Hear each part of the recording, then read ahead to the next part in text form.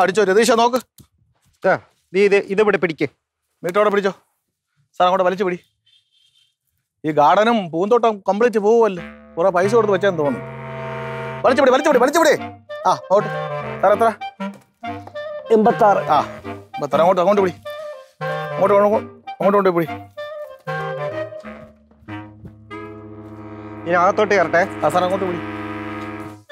നല്ല കായ്ഫലമുള്ള മാവ് കേട്ടോ കംപ്ലീറ്റ് പോകും സാറേ ഈ ഫില്ലറിന്റെ പകുതി ഇതാദ്യം പോകും. അങ്ങോട്ട് പിടിച്ചോ അങ്ങോട്ട് വലിച്ചു ടൈറ്റ് ചെയ്ത് പിടിച്ചോ. ആ ഓക്കെ. വെച്ചോ വെച്ചോ. എത്ര സാറേ? നൂറ്റി പത്ത്. ആ അവിടെ നേരെ ഇങ്ങോട്ട് പിടി. ഓക്കെ. ആ ബോർഡിന്റെ ആ സംഭവം നോക്കണം. ഇവിടെ ഇവിടെ പിടിച്ചു. ആ സ്ഥലത്തെല്ലാം കുറ്റി അടിക്കും. ടൈറ്റ് ടൈറ്റ് ചെയ്തു. അവിടെ കുറ്റി അടിച്ചാൽ അത് ശക്തിയായി അടിക്കണേ ഇളകി പോവല്ലേ. ഒരുങ്ങിപ്പോയി മാറിയൊക്കെ സാറേ. മാറിക്കേ. അപ്പൊ നീങ്ങണേ അവിടെ ഒരൊറ്റ മീറ്ററേ ഉള്ളൂ. മണി അവിടെ നിന്ന് നീളം പിടിക്കേ. അവിടെ അങ്ങോട്ട് പിടി അങ്ങോട്ട് പിടി. അവിടെ സാറേ. സാർ അങ്ങോട്ട് നീട്ടി പിടി. ആ. ഹലോ? നിങ്ങൾ ആര്? ഏ, ഇതെന്ത്? സാറേ സാറേ ഒന്ന് ഒതുങ്ങിയ ഒന്ന് സാറേ ഒന്ന് ഇത്? മനസ്സിലായില്ലേ? ഇല്ല. സാർ ഞങ്ങൾ ഈ ഇസ്രായേൽ പദ്ധതിയുടെ ഭാഗമായിട്ട് അളവെടുക്കാൻ വന്ന ഉദ്യോഗസ്ഥരാ. ഇസ്രായേല ആ? ഇസ്രായേൽ ഞാൻ ഉസ്മാൻ. ഞാൻ അനിരുദ്ധൻ. അല്ല ഇത് എന്റെ വീടാണ്. ഇവിടെ എന്താ നിങ്ങൾക്ക് കാര്യം? അതെ. ഞങ്ങൾ ഞാൻ പറഞ്ഞില്ലേ ഇസ്രായേൽവേയുടെ പദ്ധതി. ഇപ്പൊ പുതിയ. സർക്കാരിന്റെ പുതിയൊരു പദ്ധതിയാണ് ഇസ്രായേൽവേ പദ്ധതി. അതെ അത് എന്റെ വീട്ടിൽ എന്താ കാര്യം എന്നാ ചോദിച്ചത്? അല്ല നമ്മളത് അളവെടുക്കാൻ വേണ്ടി വന്നു. നിങ്ങൾ ആ റോഡിന്റെ അവിടെ തൊട്ട് ഇവിടം വരെ അളവെടുക്കും. നിങ്ങളെ വീടിന്റെ ഏകദേശം ഇത്രയും പോഷം പോകും പോവോ? ആ ഇതിന്റെ ഭാഗമായിട്ട് ഇത്രയും പോകും ഫില്ലറിന്റെ പകുതി വരെ നിങ്ങൾ എന്തോ നീ പറയണേ? നിങ്ങൾക്ക് ഇത് സംഭവം തന്നെ മനസ്സിലായില്ലേ? ഇല്ല. എസ് റെയിൽവേ പദ്ധതി എന്ന് പറഞ്ഞാൽ ഇനി മുതൽ നിങ്ങളെ വീടിന്റെ മുമ്പിൽ കൂടെയാണ് ഈ എസ് റെയിൽവേ പോകുന്നത്. മനസ്സിലായില്ലേ? എന്തോന്നൊക്കെ നിങ്ങൾ പറയുന്നത്? മനസ്സിലാക്കി തരാം മനസ്സിലായത് അതായത് നമ്മളെ തമ്പാനൂർ റെയിൽവേ സ്റ്റേഷൻ ഇല്ലേ അവിടെ നേരെ കരമന വഴി നമ്മളെ കൈമനത്ത് വന്നിട്ട് അവിടെ നിന്ന് മധുപ്പാലം വഴി നിങ്ങളുടെ വീടിന്റെ ഫ്രണ്ടിൽ കൂടെ ഈ തിരുവല്ലം വഴിയാണ് നേരെ- കന്യാകുമാരിലോട്ട് എസ് റെയിൽവേ പോകുന്നത് നിന്റെ കൂട്ടുകാരാടാ അതെ. അത് എന്റെ വീടിന്റെ മുമ്പിൽ എന്തിനാണ് പണിയെന്നാണ് ഞാൻ ചോദിക്കുന്നത്?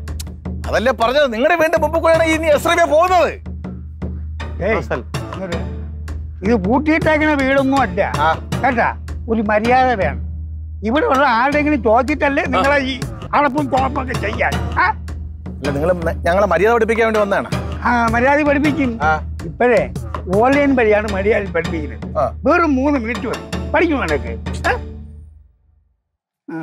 നിങ്ങൾക്ക് തർക്കിക്കാനൊന്നും ഞങ്ങളില്ല. ഞങ്ങൾക്ക് ഇതിന്റെ സർവേ എടുക്കണം റിപ്പോർട്ട് കൊടുക്കണം. ഏകദേശം നിങ്ങളെ വീടിന്റെ ഈ മുറ്റവും ഈ വരാന്തയൊക്കെ പോകും ഏകദേശം കേട്ടോ മാമ? ഏകദേശം നാല് ഫില്ലറും പോകും നാല് പില്ലർ നാല് ഫില്ലർ പോകും പിന്നെ മര്യാദയ്ക്ക് ഇടപെട്ട് കഴിഞ്ഞാൽ ഒരു പില്ലർ വെച്ചിരിക്കും. ഞാൻ ഒരു കാര്യം പറയാം. എന്റെ വസ്തുവിനോ വീടിനോ എന്തെങ്കിലും കുഴപ്പമുണ്ടായാ എന്റെ മരണത്തിന് ഉത്തരവാദി നിങ്ങളായിരിക്കും. അത് ഞാൻ പറഞ്ഞേക്കാം. നിങ്ങൾ ഇങ്ങനെ ചാടി കടിച്ചിട്ട് കാര്യമില്ല. ഞങ്ങൾക്ക് ഞങ്ങളുടെ ഡ്യൂട്ടി ചെയ്തേ പറ്റുള്ളൂ. നിങ്ങളുടെ ഡ്യൂട്ടി എന്റെ വീടിന്റെ മുറ്റത്ത് നിങ്ങളുടെ ഡ്യൂട്ടി ഒരു കുന്തവും വേണ്ട. എന്റെ ശവത്തിന്റെ പുറത്തുകൂടിയേ നിങ്ങളുടെ എസ് റെയിലും എന്ത് റെയിലും പോവുള്ളൂ. ഞാൻ പറഞ്ഞേക്കാം കേട്ടോ. Excuse me your good name please Unnikrishnan Utharankode ആണാ? ഇങ്ങോട്ട് വരി. വരേ. വരി വാ പറയാം. നീ ഇവിടെ പറഞ്ഞു ഇവിടെ ഇരടാ. എന്നെ അല്ലേ വിളിച്ചത്? ആ വാ. അതെ ഉണ്ണി സാറേ. ഒരു കാര്യം ചോദിക്കാനുണ്ട്. ആ. നിൽക്കുന്ന ആ കിഴങ്ങ് ആരാണ്? എന്റെ ഒരു ബന്ധു തന്നെ കുഴപ്പമില്ല. ഒട്ടും ഗൗരവമില്ല വിദ്യാഭ്യാസമില്ല ആ ഉള്ളതിൽ ഇത്തിരി അല്പമെങ്കിലും മാന്യമായിട്ട് സംസാരിച്ചത് വിദ്യാഭ്യാസവും ബുദ്ധി ഉണ്ടെന്ന് തോന്നിയത് ഉണ്ണി സാറിനാണ്.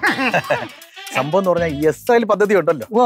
അത് ഇപ്പൊ നിങ്ങളെ വീടിന്റെ മുമ്പിൽ കൂടെയാണ് ഇപ്പൊ വരാൻ പോകുന്നത്. അതിനാണ് നമ്മൾ ഈ അളക്കാൻ വേണ്ടി വന്നത്. ഇതിപ്പോ നമ്മൾ ഈ ഇത്രയും സ്ഥലം പോയി കഴിഞ്ഞാൽ സർക്കാർ നിങ്ങൾക്ക് ഈ സ്ഥലത്തിന് പൊന്നും വില തരും. പിന്നെ ഒന്ന് സാർ ആരാണ്? ഈ ഏരിയയിലെ കോടീശ്വരൻ. മാത്രമല്ല ഈ റെയിൽവേ പദ്ധതി വന്നു കഴിഞ്ഞാലേ നിങ്ങളെ വീടിന്റെ ഫ്രണ്ട് കൂടെയാണ് കന്യാകുമാരി എക്സ്പ്രസ് ചീറി പാഞ്ഞു പോണത്. പോയി ഇടയ്ക്കിടയ്ക്ക് രണ്ടെണ്ണം അടിക്കാൻ വേണ്ടി കയറുന്ന പത്ത് മിനിറ്റ് മതി അവിടെ ചെന്നിരുന്ന് റണ്ണ അടിച്ചുകൊണ്ട് അടിച്ചോണ്ട് സുഖമായിട്ട് കാറ്റും കൊണ്ട് മതമാരെ കണ്ട് കിടക്കാം. എവിടെങ്കിലും എവിടെയെങ്കിലും കിട്ടുമോ ഈ സൗഭാഗ്യം. അപ്പോൾ ഇതിന്റെ ഏർപ്പാടൊന്നും ചെയ്താൽ ഏർപ്പാട് ചെയ്യണം. ആ ഒരു തുണി നിർത്തുന്നില്ല നീ പറഞ്ഞു. ആ. നിർത്തണ്ട. അതും കൂടെ എടുത്തോ. ഞാൻ അവന്റെ അടുത്ത് പറഞ്ഞ് ശരിയാക്കി വാ എന്ത്? അത് ഏറ്റ് ഞാൻ ഏറ്റ്. അല്ല ഉണ്ണിയപ്പൂ ഈ ഓണത്തിനൊക്കെ മുറ്റം ഇല്ലാണ്ടായി കഴിഞ്ഞാൽ എങ്ങനെ അത്ത ഇടും മുറ്റൊന്നും വേണ്ട വേണം വേണം വേണ്ടാക്കണം. കാരണം ഈ ഫ്ലാറ്റുകളിൽ മക്കൾ കണ്ടിട്ടുണ്ടാ?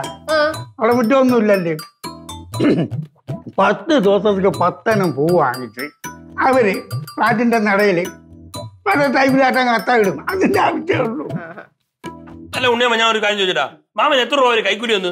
എന്റെ വീട് മുറ്റമൊക്കെ പൊളിക്കുന്നതിന് കൂട്ടിക്കുന്നതിന് വേണ്ടി ഏ? ഡാ, ആർക്കെല്ലാം ഞാൻ മോച്ച അറിയാച്ചൊന്നുണ്ടല്ലേ ആ കൂട്ടി നിന്നാ പിന്നെ? എന്റെ വീട് മുറ്റമല്ലേ പൊളിക്കുന്നത്? അനാവശ്യം പറയരുത്. ഞാൻ ഈ നാടിന്റെ പുരോഗതിക്ക് വേണ്ടിയാണ് ഞാൻ പറഞ്ഞത്. അങ്ങോട്ടോക്ക് നമ്മളവിടെ ആ സർക്കാർ സ്കൂളിൽ ഇരിക്കുന്നത് എന്റെ അപ്പൂപ്പൻ കൊടുത്ത അമ്പത് ഏക്കർ വസ്തുല കേട്ടോ? അപ്പൂപ്പൻ അഞ്ചു പൈസ കൊടുത്തിട്ടില്ല. അതെ? മാമന്റെ അപ്പൂപ്പന് ഏക്കർ ആണെങ്കിൽ സ്വത്തുണ്ടായിരുന്നു. അഞ്ച് ഏക്കർ കൊടുക്കുന്ന ഒരു അഞ്ച് സെന്റ് കൊടുക്കുന്ന പോലെയാണ് അപ്പൂപ്പന്. ഇപ്പൊ അതല്ല. എന്തിന്റെ പേരിലാണെങ്കിലും ശരി മുറ്റം എന്നല്ല മുറ്റത്തുനിന്ന് ഒരു തരി മണ്ണ് പോലും ഇവിടുന്ന് കൊണ്ടുപോകാൻ ഞാൻ സമ്മതിക്കില്ല. വേണമെങ്കിലേ നാളെ ഞാൻ അവിടെ സത്യാഗ്രഹം തുടങ്ങും. വേണ്ട. ഞാനും കാണും. എന്നാ മിക്കവാറും സത്യമൊക്കെ ഇരിക്കേണ്ടി വരും. ഈ സമയത്ത് വഴക്കൊക്കെ കൂടിക്കൊണ്ട് നടന്നാൽ ഒന്നും നടക്കൂല. എടാ ബുദ്ധി ഉപയോഗിക്കണം. മനസ്സിലായ? ഇങ്ങോട്ട് നോക്ക്. വീട്ടിന്റെ മുൻവശത്തൂടെ ട്രെയിൻ പോയി കഴിഞ്ഞാലുണ്ടല്ലേ. വസ്തുവിന് വില മാറും. ഇപ്പത്തേം കാട്ടി നാല് ഇരട്ടി കിട്ടും പൈസ. നോക്ക് ആ പൈസ കൊണ്ട് നിനക്ക് എന്തെല്ലാം ചെയ്യുന്ന? നിന്റെ ലോൺ വരെ അടഞ്ഞു കിട്ടും. അത് ബുദ്ധി ഉപയോഗിച്ച് ചെയ്യണം. പിന്നെ മുറ്റത്ത് ഇറങ്ങി നിന്നാൽ മതി. ട്രെയിൻ വരും. പത്ത് മിനിറ്റ് കൊണ്ട് കന്യാകുമാരി പോവുകയും ചെയ്യാം.